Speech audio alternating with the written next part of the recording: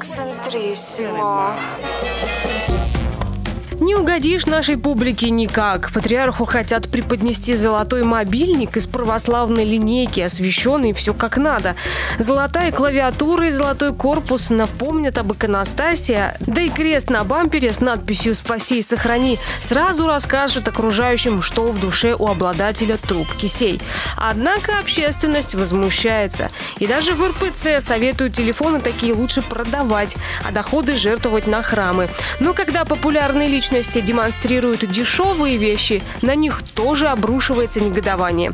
Съехавшая из Белого дома Мишель Обама шокировала американский бомон своими нарядами. Приходила на телевидение в платье за 35 долларов.